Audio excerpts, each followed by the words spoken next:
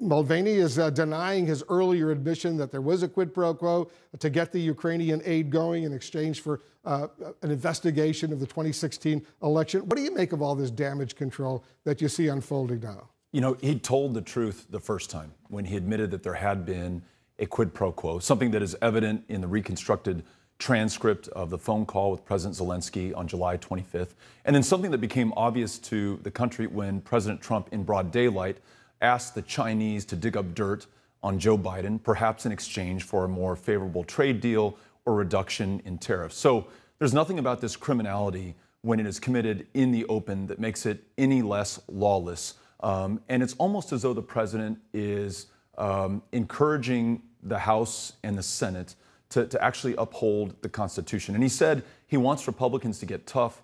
What we want Republicans to get tough on is upholding the rule of law in America because we will either set the precedent that some are above the rule of law or that the rule of law still holds in this country. That is the defining constitutional question of this moment and our time. And my hope is that Republicans in Congress can see above their own party, their own reelection, and look to the future of this country. That's, that's what and, we need. And you support not only impeachment, but conviction, removing the president from office. Is that correct? It, it is pretty clear to me, as it should be to anyone who's seen the reconstructed transcript, read the Mueller report, listened to the president in his own words, and now heard his chief of staff admit uh, in front of television, television cameras that, that there was a quid pro quo, and then to add that this happens all the time in the Trump White House. Um, that man is a danger to this country and must be removed. Let's get to some of the other sensitive issues of the day while I have you. There's new information just today released by Facebook that shows Russian trolls are already interfering in the 2020 election, targeting Joe Biden, Senators Harris and Warren. What can each individual candidate do about that right now? I think it's really important that we hold Facebook and Twitter and these social media platforms where people have become the products accountable for what they're doing. They are not utilities as we treat them under US law right now, but they're more akin to publishers. They curate the content that we see and they're responsible for what comes across their pages. So I think it's really important that we hold them to that higher standard, no longer allow those Russian trolls to operate with impunity, and also not allow our president to traffic in the kind of lies carried on Facebook. Though CNN and other media outlets have um, decided not to air them because they contain lies and are not true. We need to hold those publishers who are online to that same standard. Those are paid advertisements. That That's right. We have decided not to uh, air those advertisements. Uh, the president today weighed in on this latest controversy involving uh, a theory put out by Hillary Clinton uh, that Russians may be grooming another Democratic presidential candidate, Congresswoman Tulsi Gabbard, uh, for a third party run. I want you to listen to how President Trump today responded to that. Hillary Clinton, if you've heard of her, she's the one that's accusing everybody of being uh, a Russian agent. Anybody that is opposed to her is a Russian agent. So that's a scam that was pretty much put down. Uh, Tulsi, I don't know Tulsi, but she's not a Russian agent. Everybody's a Russian or a Russian agent or a Russian asset.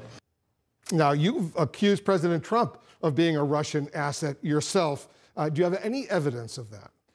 As a candidate in 2016, he asked on a stage for all the public to see for Russia to find Hillary Clinton's emails. We know that, that Russia followed suit that very day. Agents began to track down Hillary Clinton's emails.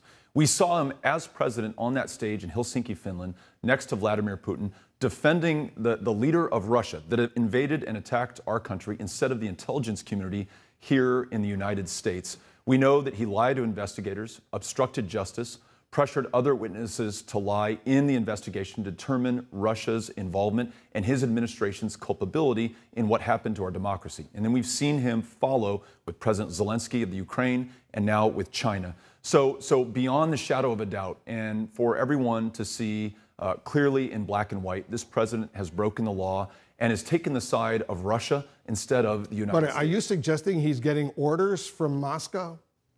I'm suggesting he's working in the interests of Russia and defying the interests of the United States. From well, maybe he believes maybe he's he, he believes he's working in his own self-interest, but that doesn't necessarily make him an agent of Russia.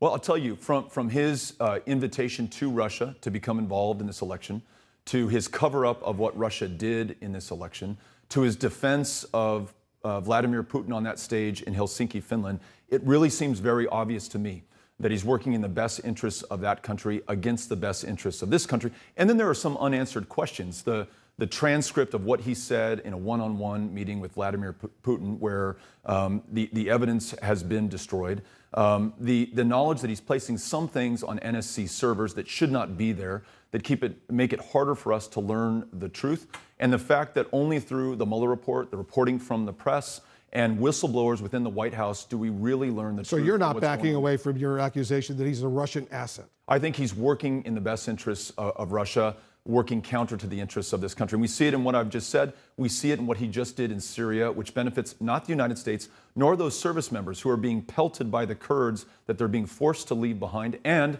as your correspondent in the field just said, compromises their position and their supply lines to whose benefit? To Iran, to ISIS, to Assad, right. and to Russia. Uh, very quickly, because uh, you're also getting some heat right now, some criticism, not just from Republicans, but Democrats as well, for your criticism of the president, comparing him uh, to Nazis and Goebbels and Hitler. Mm. Uh, you, you, said uh, the other day in an interview with Al Sharpton, President Trump, perhaps inspired by Goebbels and the propagandists of the Third Reich, seemed to employ this tactic that the bigger the lie, the more obscene the injustice, the more dizzying the pace of this bizarre behavior, the less likely you were able to do something about it.